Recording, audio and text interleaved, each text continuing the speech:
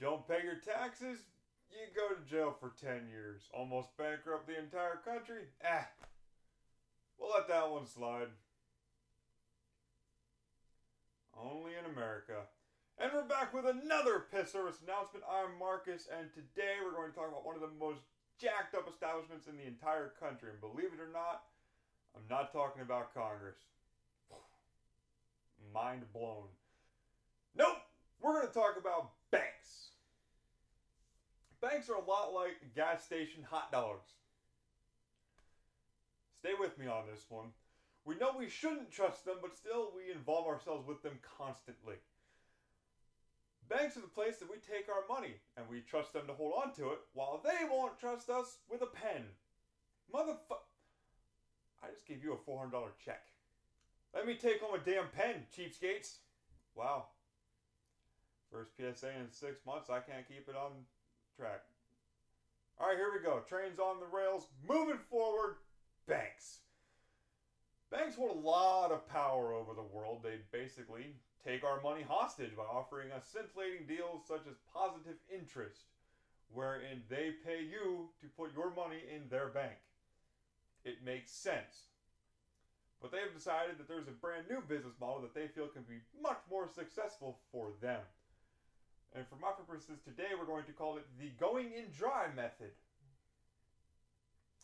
Wherein, while your money is in their bank, they're going to charge you negative interest.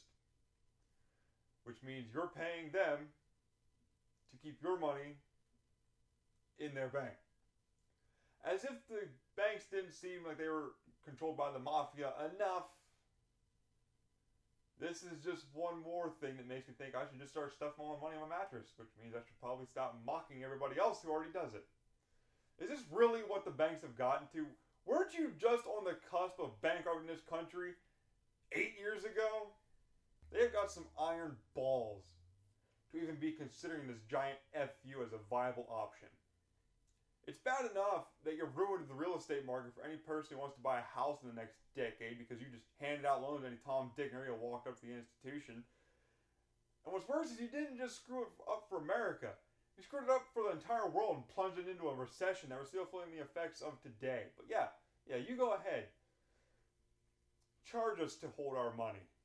I'll be one of the first people at your door to pull all my money out and watch you flounder until the entire banking system fails. And hey, if that plunges the world into Armageddon, it was time for it to happen anyway. We needed to get rid of some people, and if I'm one of those people, that's fine by me. As you can tell, I'm a very optimistic pessimist,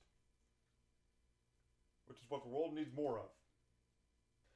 And to anybody who still believes that the banks are too big to fail, we almost had the entire planet meltdown because of a housing bubble popping. Imagine what would happen if there was an entire crash of the banking system be a nightmare. What are we going to do? Go back to bartering chickens and horses for medical checkups? Granted, it'd probably be cheaper than what we have going on now.